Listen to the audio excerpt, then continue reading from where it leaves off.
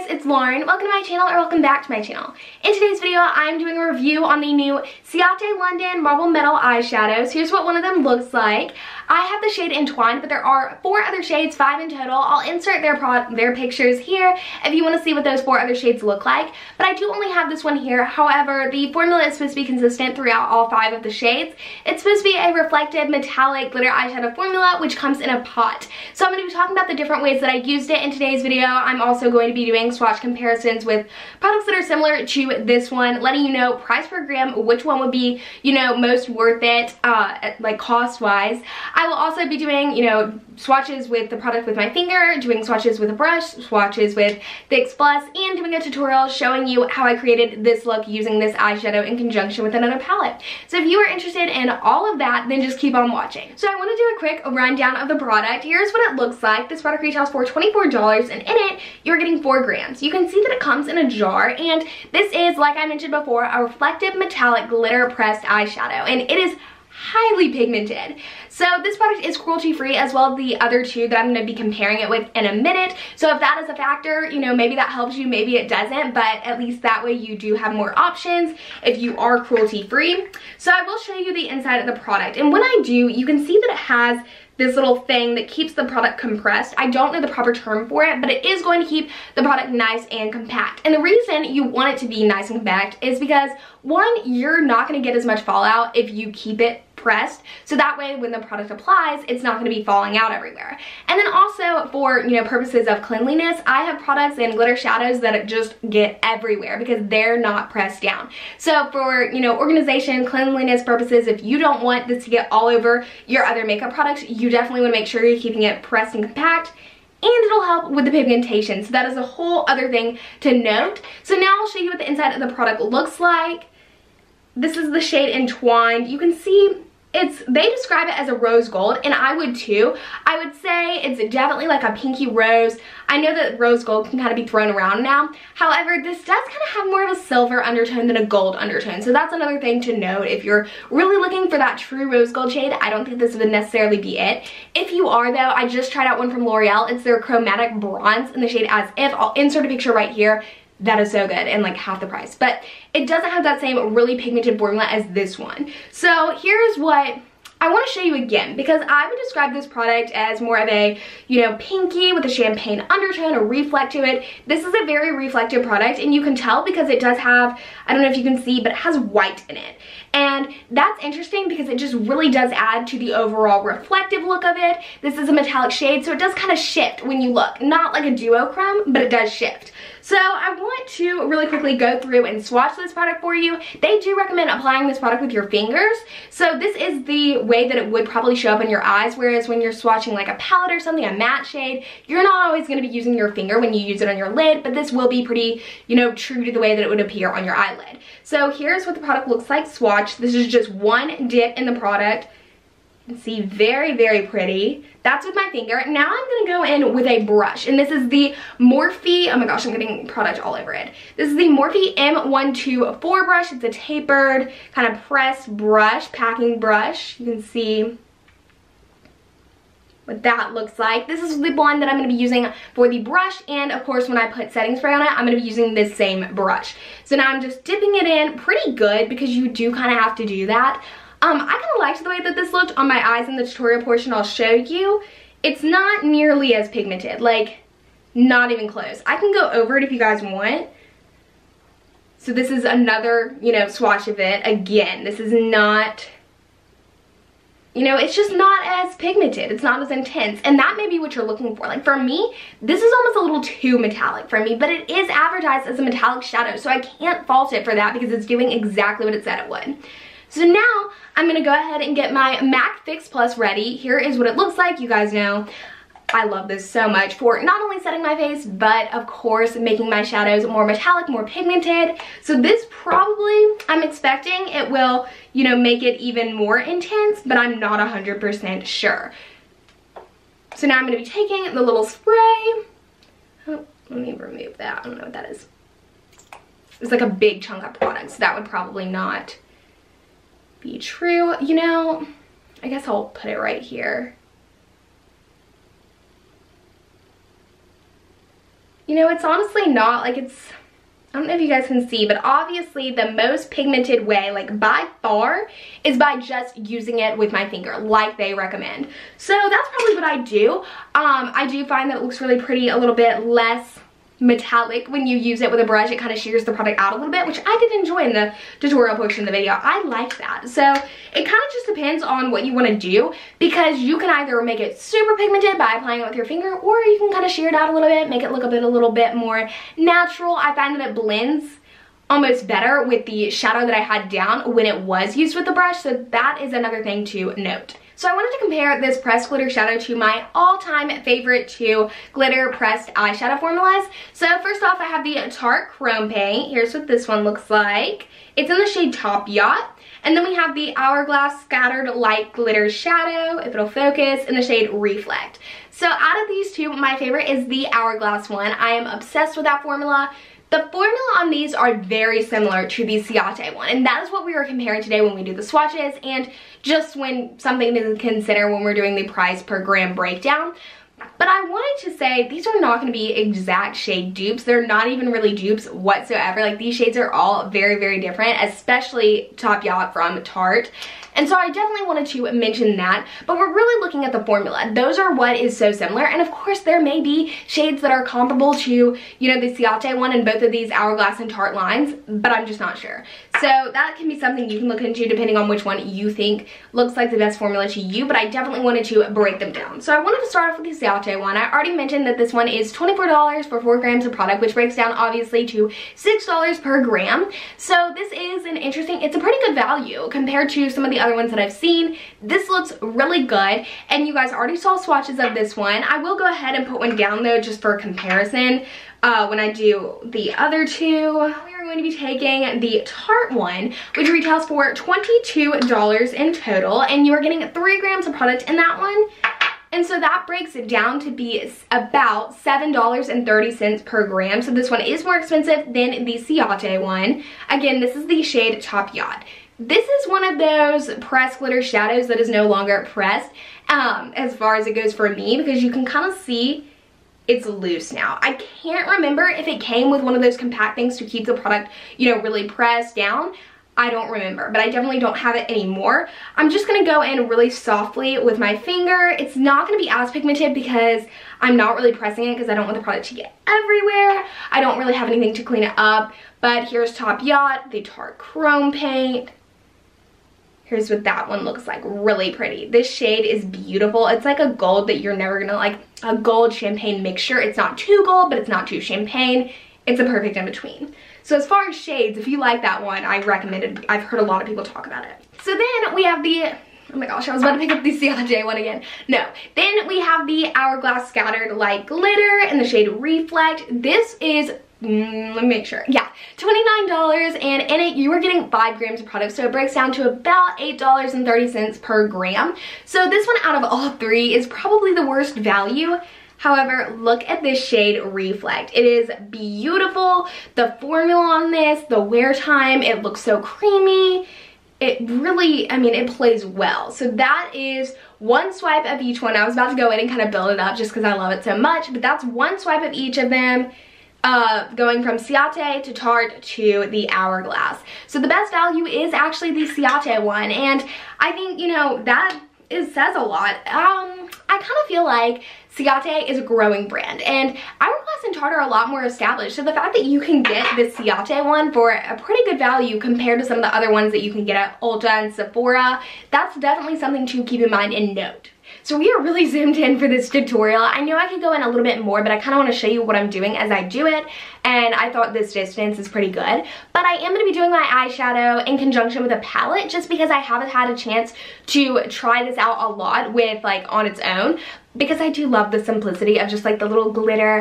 Um, I just love that. You guys know I'm pretty simplistic with my eyeshadow, but I did want to use it in conjunction with a palette because I do know that a lot of people like to use these shades, you know, these really pigmented shadows in conjunction with a palette to kind of just lay down a really nice base, make the focus even more intense on this single shadow. So I wanted to do just a really quick look, something very simple, so the main focus can be that eyeshadow. So I am going to be using this Too Faced Chocolate Bonbons palette. You guys know I love Too Faced shadows. I think they are great. So I really wanted to use a formula that is my tried and true so it doesn't, um, you know, clog my, you know, opinion of this eyeshadow. So here's what the inside of the palette looks like if you haven't seen it before. I'm sure you have. It's been out for a while. I think there's a lot of shades in here that would work really well with it, but I'm just gonna kind of go through, show you what I'm doing. Starting off with taking this shade Divinity right here. It's just like a matte white. It is pretty white. I know a lot of bases are typically a little bit more neutral, maybe a little bit more yellow tone, but I wanted to use this one.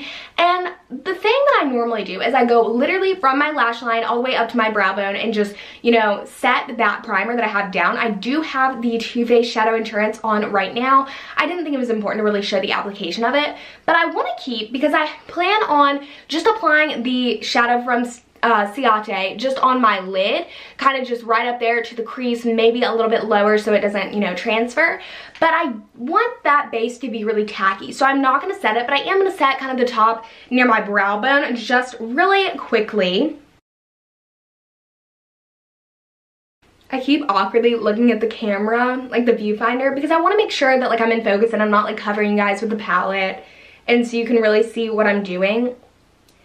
Please be sure to leave some feedback on this tutorial portion of the video because I don't do a lot of tutorials in, you know, my videos. So if you want me to go closer in the future, what you guys want to see. So I think that's pretty good, nice and set. I'm not trying to make anything too, too pigmented. I don't feel like I need to build it up a lot more. So now I'm going to be taking a brush that I love from Luxie. It is a little bit dirty because who has time to clean their brushes, honestly. This is um the 231 brush, the small tapered blending brush. So I'm going to start off by using this shade right here, um, Almond Truffle. It's kind of this I'll do a swatch of it on my hand just because I think this shade is wonderful for rose gold shades, even though it's like not the most conventional. Kind of pretty, it's like a taupey purplish type shade, like very muted purple. So now I'm to be taking it and I'm going to tap off my brush because I don't remember how pigmented this layer is on, but I can always add more. I can't take it away. Oh yeah, this is nice. So yeah, that's looking pretty nice. I really do enjoy that. So now I'm to go in on the other eye. Sorry if you guys can hear the TV in the other room. I have some here home alone um, with my dog and he, I just like, I don't know, like he like needs companionship and so I like to always leave the TV on for him. That's just what we like to do, as weird as that is. Might go turn it down in a minute. So now I'm just kind of blending everything out, making sure it's nice and good. And just so you guys know, um, I feel like a lot of videos I've been watching recently um you know they're very specific in what they tell you to do which is great because then that way you really can you know I don't know, get an idea of how to do your makeup. But just remember, like, even what I'm doing right now, the way that I'm, you know, making my shadow, the way that I'm really, like, arching my shadow and my crease is because that's the way my crease is. And I do for my specific eye shape that's what I need to do. But just remember that like it's your own makeup. Like no one can tell you how to do your makeup. Like it's your own thing. And that's the great thing about makeup. Like there is no defined rule book that tells you what to do and what like not to do because makeup is creativity. At the end of the day it's like an artistry and of course I'm not the most artistic person in the world. I just really enjoy doing makeup and so you can still do it. Like there are no you know limiting things that say this person can't do makeup. Um I just think that's important to like I don't know point out. So I think that is actually nice and good. I am gonna go ahead and take a like what is this just a short shader brush, um, also from Luxie. It is the number 223. I love Luxie brushes. I'm going to be taking that same shade, Almond Truffle, in this palette. I'm going to be going underneath the eye to kind of, not all the way on the lower lash line, just kind of on the outer part of it. That way it'll I don't know, I just find that that really helps the eyeshadow look look complete whenever I'm doing it. And I think that's going to be a more of a way for the single shadow from Ciate and Entwine to uh, stand out. I highly recommend if you are either just starting out in makeup or you like a very blendable, buildable formula, I really recommend Too Faced. And I know back in the day, this was a very, you know, popular eyeshadow brand, but I feel like people are kind of sleeping on it recently. I find that you know, I like this formula better than a lot of other brands that I've tried out recently that I feel like a lot of people are talking about. I just find their formula to be really impressive. Okay, so now I'm going to go in with this single shadow from uh, Ciate. I keep wanting to say Stila, and I'm like, no. I think it's because Stila just came out with their new like suede shadows, and I'm really intrigued by them. So here we go. I might actually, I don't know whether I should go in with like my brush first, just to kind of see how that pigmentation goes. I might, yeah, go in with like a taper, uh, taper brush from Morphe. This is their uh, M124 brush. I think Morphe has a really wide selection of brushes, but I don't necessarily think they're the best quality. Like, I really prefer Luxie. I'm not quite sure how their brushes, like, stack up in price, but those are just ones that I prefer more. I really want to get more. So, yeah, I'm to start off with going in with a brush to apply the single shadow from Ciate, but I might end up switching to my finger just depending on. I haven't used a brush yet. I typically use my finger with this type of, you know, eyeshadow formula. So it's not as pigmented when I use my brush than it is with my finger, but it's still pretty good in there. Like you can kind of see, like it's applying for sure. It's definitely important to note with this rose gold shade um, that it is definitely rose gold, kind of that more pinkier one. I know sometimes rose gold can come off as like, you know, champagne or whatever. Like I feel like when I'm picking out a lot of rose gold shades, I'm kind of expecting it to be champagne just because, I don't know, I feel like that's kind of the way that the market has been using uh, that shade name. So I kind of expect it to be something different than this. This, I would say, is more of like a pinkier shade, a very, like a lighter pink, really pretty nonetheless. And I think this is honestly more, um, I don't know, what is it? Like true, like true to color type shade. I really like the way that this looks right now. So now I'm to go in with the other eye and a brush. The shadow is so creamy, which I think is really interesting in the pot. It like is like a cream to powder formula so it's kind of creamy when I put my brush in there but when I put it on my eye it's not that creamy which I really do like. I don't love always using cream shadows just because I feel like they can get kind of creasy and uh, the texture can kind of turn out kind of funky and it transfers. Those cream shadows oh my goodness most cream shadows really do transfer and that's kind of an issue so yeah, that looks pretty good. That is what it looks like applied with just a brush. Now I'm to go in really quickly with my finger just to see if I can kind of build up the product a little bit and see kind of the difference. You won't be able to tell very much, but I will be showing you, or if I already did, I don't know where it's going in, but I will be showing you in the swatches the comparison between, you know, using my finger, using a brush, using a brush with spray. You'll get to see all of that. So now I just went in with my finger and you can see that pigmentation does layer up. I do find it to be more pigmented. For better or worse, that's kind of what you're getting. Um,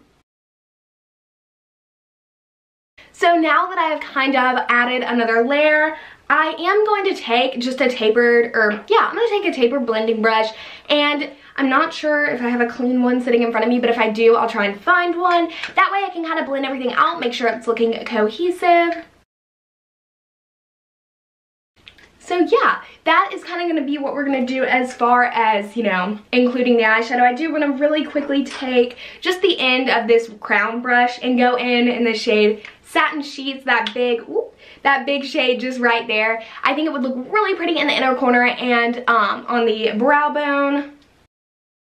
I'm going really light. Typically, I'll go in with like a um, setting spray or like Fix Plus or something and really build up the pigmentation on my inner corner highlight because I think that is beautiful. I did do that in one of my more recent videos and I love the way that looked.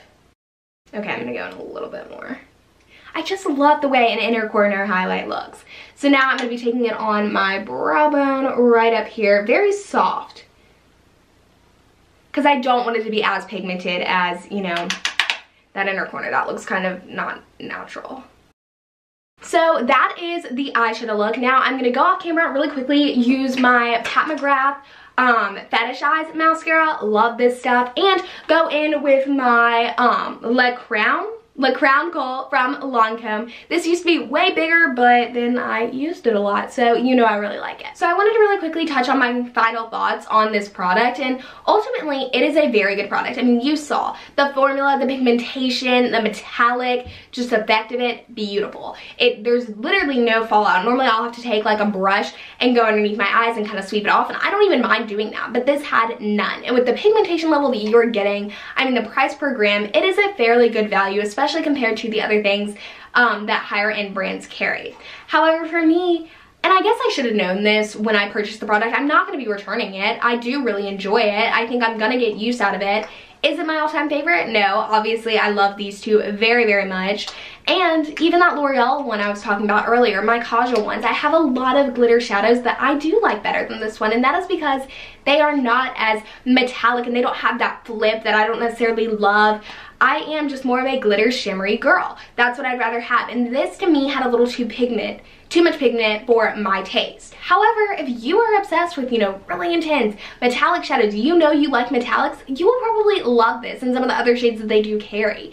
So I wanted to kind of say, yes, I recommend it if you are in the market for a, you know, metallic product like this. If not, if you, you know, don't even like really, you know, glimmer, shimmery shadows, you may not like either of these, like the other two that I'm going to recommend. Like I said, like if you like really glittery shadows, you're not a big fan of metallics, these may be better ones for you. Even though it may not be the best value, if you're going to get use out of them, there's really, I mean, you don't have to really think about, you know, the price per gram because if you're not going to use this entire product and you know you'll use these two, then get these. So that's kind of my final thoughts on the product. I definitely think there's a lot to love about this one. So if you want to go in store, try it out you know, maybe get a sample of that. I don't know if they can do that with this product, but if they can, I'd definitely try it first. Alright guys, that about wraps up today's video. If you enjoyed it, please be sure to give it a big thumbs up so that I can know to continue doing more reviews. I do have a few planned in the future, so I want to make sure that's something you want to see before I do go ahead and film them and get those uploaded for you guys. If you have any suggestions on products that you want me to review, whether they just launched or they've been out for a while, let me know in the comment section down below. If you're new here, you have not already subscribed, I would really appreciate it if you went and do click that little red button down below, as well as that notification bell so that you will be notified for all of my future posts and videos. I do have a lot of fun stuff coming up. I'm actually planning a giveaway, so definitely stay tuned for that. Thank you guys so much for checking out my channel and watching my video. You guys know it really means a lot to me, all of your support, and I definitely wanted to make sure that you guys know that. Alright, um, yeah, my next video will be going up on Sunday. I hope you guys have a great 4th of July and a great weekend, and I will see you then. Bye!